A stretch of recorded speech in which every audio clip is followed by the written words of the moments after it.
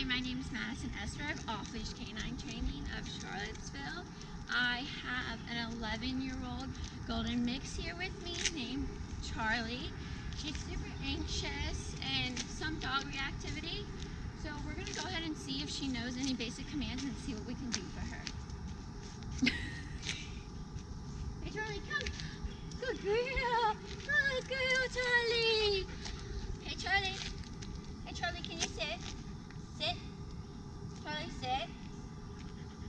Hey, Charlie, down. Charlie, down. Down. Hey, Charlie, can you heel? Heel. Heel. Charlie, heel. Heel. Charlie, heel.